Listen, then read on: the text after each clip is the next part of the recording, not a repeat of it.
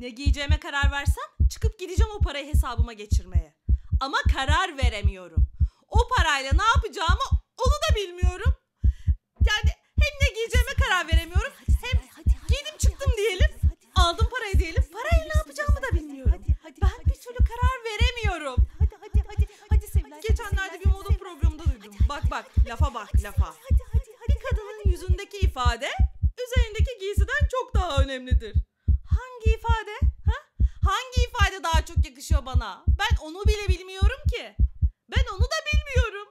Evden çıkamıyorum. Bu kapıdan dışarı adım attığım anda herkes bana bakacak sanıyorum. Herkes benimle alay edecek gibi geliyor. Ben dışarı çıkamıyorum.